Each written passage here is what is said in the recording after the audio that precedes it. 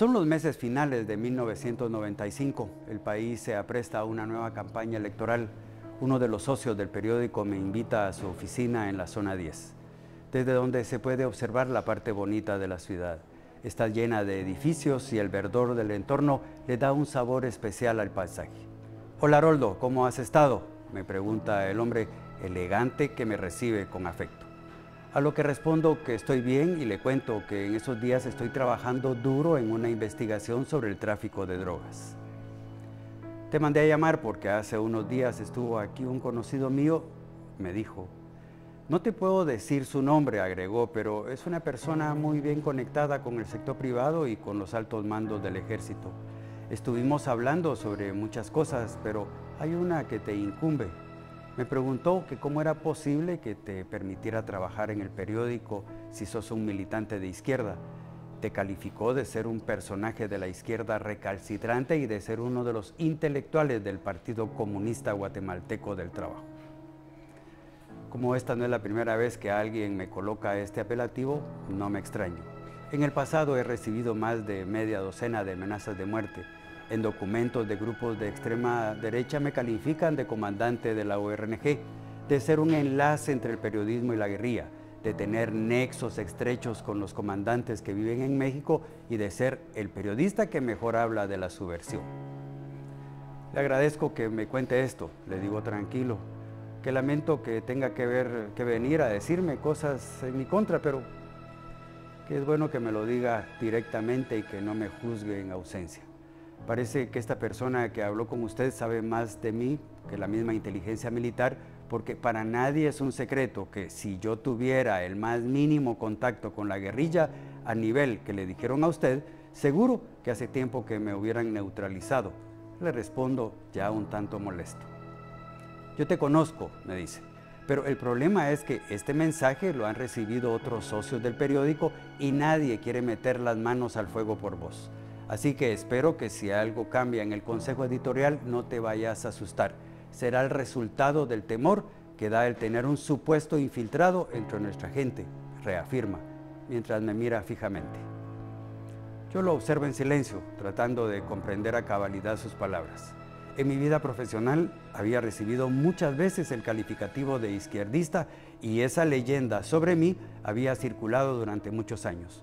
Una tarde que el director del noticiero Aquí el Mundo me mandó a llamar a sus instalaciones porque estaba interesado en mis servicios, lo primero que me preguntó fue que si yo era guerrillero o si tenía simpatía con la guerrilla. Estoy en la mira de la guerrilla y no quiero tener a un infiltrado aquí adentro, me dijo. Usted es buen profesional, pero tiene color de rojo. Y yo prefiero que sea honesto conmigo para no tener después ningún problema, él agregó. Me paré le di las gracias por recibirme y le manifesté que lo mejor era irme y seguir siendo su amigo porque si él pensaba que tenía una militancia que podía poner en peligro su vida y su empresa, jamás me tendría confianza. Comprendí que no valía nada mis palabras y en el fondo él dudaba de mi militancia política con un grupo armado. La relación sería terrible y ni él ni yo estaríamos jamás en paz. Si algo llegara a pasar, estaba seguro que el primer señalado sería yo. Así terminó lo que pudo ser mi primera incursión en la televisión noticiosa de Guatemala. Todo eso me vino a la mente con el socio del periódico. Así que le dije que lo único que podía afirmar es que los señalamientos eran algo típico de aquellos que están acostumbrados a descalificar a quienes no piensan como ellos. Sé que en lugar de discutir las ideas, lo que han hecho siempre es descalificar al otro diciendo que es un peligroso comunista. Usted sabe que esto encierra una asquerosa verdad, le dije. En el pasado ese calificativo era sinónimo de muerte porque nadie se salvaba de ella. Eso es cierto, Haroldo, afirmó el empresario, pero el tiempo ha cambiado, reafirmó. Eso es relativo, respondí. Solo el hecho de que usted me cite aquí para hablar de ese tema significa que le preocupa que algo sea cierto de esa plática con su amigo. Lo único que le puedo decir es que no olvide que en el pasado, para acabar con una persona, ese calificativo de comunista o de izquierdista era fácil decirlo a los cuatro vientos para que la persona apareciera tirada en cualquier camino con un balazo en la cabeza.